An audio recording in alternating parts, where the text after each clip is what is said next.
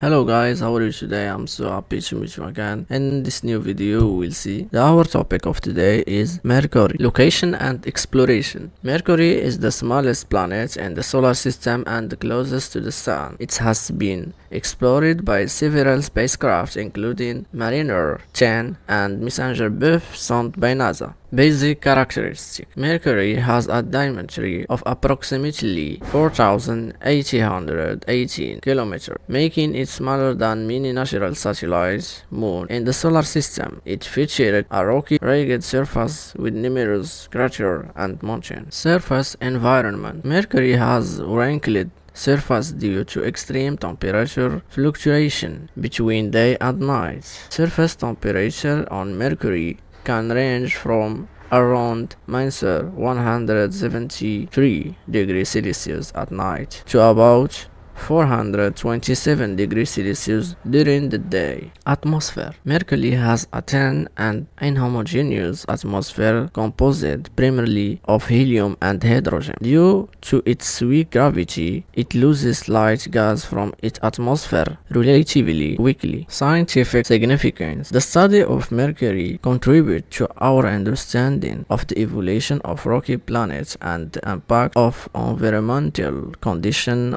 on planetary surface formation. Studying Mercury can also help us understand the history of the solar system and the conditions that led to planetary formation. Future exploration Despite the significant challenge posed by the extreme temperature and strong solar radiation near Mercury, there are ongoing and planned missions to continue exploring this planet. That's all guys. If you like this video, do not forget to like, subscribe and share this video for more interesting video. See you soon. Goodbye.